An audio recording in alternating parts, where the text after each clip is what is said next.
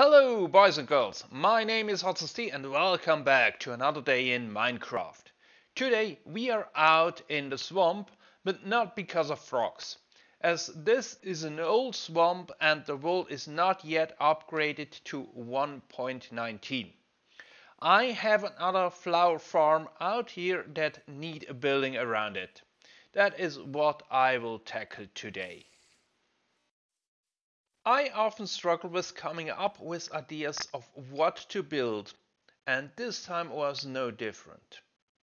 Sometimes I have an idea like with the whole porch setup where I went out and looked for similar builds that fit my need and then basically copied. The outcome is really good I think, but the creative process is a bit disappointing. At other times I have a clear idea and it is just a matter of implementing it like with the flower farm building from last episode. Then of course there are times where you have a vision and have a hard time realizing it in the confines the game has to offer. Case in point is the tornado. While the lower part is quite good, uh, the top part is too small and too uniform. For this building there were quite a few ideas. I think the first thing that has still stuck to the end is that it is a round shape even if that was not a conscious decision. Therefore I tried looking for inspiration on towers. The location being in the swamp where there is a lot of water got me into the direction of a water tower.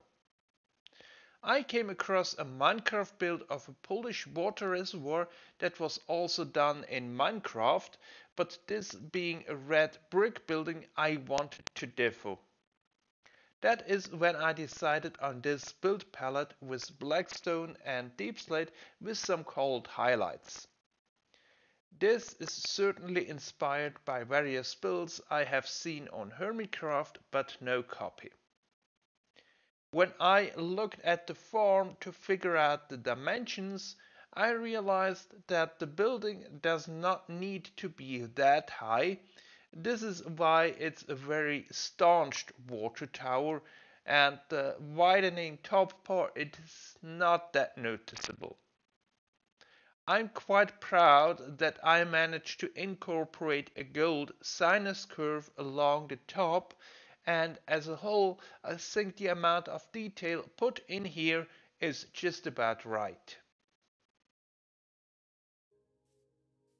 And with that another project is completed. I hope you enjoyed it and will also tune in next time for more Minecraft. See you then!